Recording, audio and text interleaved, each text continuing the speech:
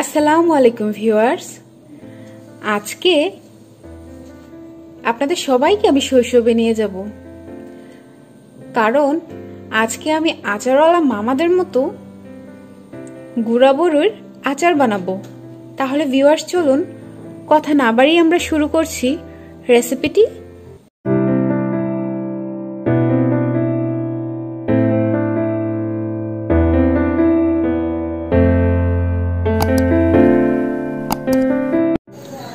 বড়ুর আচার বানানোর জন্য প্রথমে এখানে আমি প্রায় দুই কেজি শুকনা বড়ুর গুঁড়ো নিয়েছি।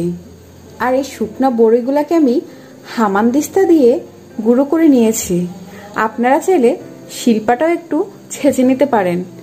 আর এটা যেহেতু অনেক বেশি শক্ত, তার জন্য এটাকে ব্ল্যান্ডারে ব্ল্যান্ড করা যাবে না। আর এখন দিয়ে দিব প্রায় এক লিটার পরিমাণে নর্মাল পানি। এই মাপটাকে কিন্তু অবশ্যই মনে রাখতে হবে। আমি এখানে দুই কেজি বড়ের মধ্যে এক লিটার পানি দিয়েছি। আর এখন একটা চামচের সাহায্যে এই বড়িটাকে আমি খুব ভালোভাবে মিশিয়ে নিচ্ছি। লক্ষ্য করুন, ভেতর থেকে শুকনা বড়ুর গুঁড়োগুলো বের হচ্ছে।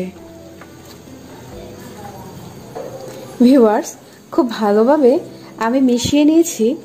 আর এ পর্যায়ে আমি এটাকে এক ঘণ্টার জন্য রেখে দেব। এক ঘণ্টা রেখে দিলেই এই বড়িটা কিন্তু অনেকটা নরম হয়ে যাবে। ভিউয়ার্স, এক ঘণ্টা পর আমি ফিরে এসেছি। আর এখন আপনাদেরকে দেখাচ্ছি, লক্ষ্য করুন, আমি যে এক লিটার পানি দিয়েছিলাম, পানিটা কিন্তু একদম নাই হয়ে গেছে। এটা যেহেতু অনেক বেশি ড্রাই ছিল এই বড়িগুলা তার জন্য এই বড়িগুলা পানিটাকে শুষে নিয়েছে।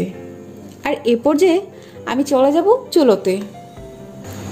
ভিউয়ার্স, এ পর্যায়ে চুলোতে একটি বড় কড়াই বসিয়ে সেখানে দিয়ে দিচ্ছি এক কেজি পরিমাণ আখের গুড়। আপনারা কিন্তু ভুলেও খেজুরের গুড় দিয়ে এই আচারটাকে করতে যাবেন না। তাহলে বড়ইয়ের যে একটা স্মেল আছে, সেটা কিন্তু আসবে না। আর এখন দিয়ে দেব এক কাপ চিনি। এই চিনিটা অপশনাল আপনারা যদি চান চিনি না দিতে, তাহলে সেক্ষেত্রে গুড়টাকে একটু বাড়িয়ে দিবেন। আমি যেহেতু মিষ্টি আচার করতেছি, তার জন্য আমি চিনিও দিয়ে দিলাম। এখন দিয়ে দেব প্রায় এক কাপ পরিমাণ হোয়াইট ভিনেগার। আর এই ভিনেগারটা দেওয়ার উদ্দেশ্য হচ্ছে, আমি যে বড়ইতে পানি ব্যবহার করেছিলাম, এই বড়ইতে যেন কোনোভাবেই ফাঙ্গাস না পড়ে যায়, তার জন্য এই হোয়াইট ভিনেগারটাকে দিয়ে দিলাম। এ পর্যায়ে একটি কাঠের সাহায্যে এই গুড়টাকে আমি ভালোভাবে গলিয়ে নেব। ভালোভাবে গলে যাওয়া পর্যন্ত আমি অপেক্ষা করব। ভিউয়ার্স লক্ষ্য করুন, গুড় আর চিনি গলে এখন অনেকখানি পানি পানি হয়ে গেছে। আর এ পর্যায়ে আমি দিয়ে দেব সেই ভিজিয়ে রাখা বড়ই গুঁড়াগুলোকে। এ পর্যায়ে আমি একটি চামচের সাহায্যে একটু একটু করে বড়ুর গুঁড়াটাকে দিয়ে দিচ্ছি। আমি একবারে দিতে যাব না। সেক্ষেত্রে গরম গুড়টা শরীরে ছিটা পড়ার সম্ভাবনা আছে। খুব সাবধানতার সাথে সমস্ত গরুর গুঁড়াগুলোকে দিয়ে দিতে হবে। ভিউয়ার্স বড়িগুলোকে দিয়ে দিয়েছি। আর দেখুন, এখন বেশ তেলতেলা দেখাচ্ছে। এই বড়িটা যখন খুব ভালোভাবে সেদ্ধ হয়ে যাবে, তখন কিন্তু আর এই তেলতেলা ভাবটা থাকবে না। দিয়ে দেব। দুটি তেজপাতা দিয়ে দিচ্ছি টুকরো দারুচিনি আর দিয়ে দিচ্ছি চার পাঁচ টুকরো ছোট এলাচ। এখন এই সমস্ত উপকরণগুলোকে খুব ভালোভাবে নেড়েচেড়ে মিশিয়ে দিচ্ছি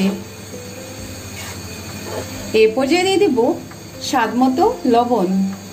যেহেতু বড় আচার সেহেতু একটু বুঝে শুনেই লবণটাকে দিতে হবে। এখন আবারও খুব ভালোভাবে নেড়ে চেড়ে মিশিয়ে নিচ্ছি।